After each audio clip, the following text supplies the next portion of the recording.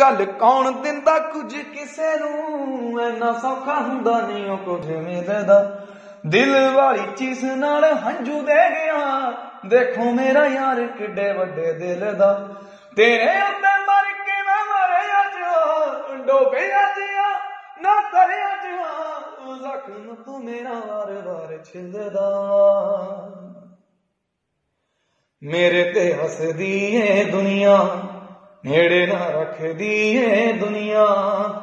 ਬੇਫਿਕਰਾ ਤੂੰ ਰਵਾ ਕੇ ਸੋਨਾ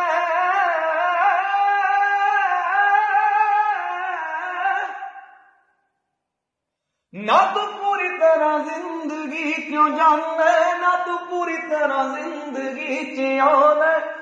ਦੱਸ ਦੇ ਐਦਾਂ ਮੈਨੂੰ ਕਿਉਂ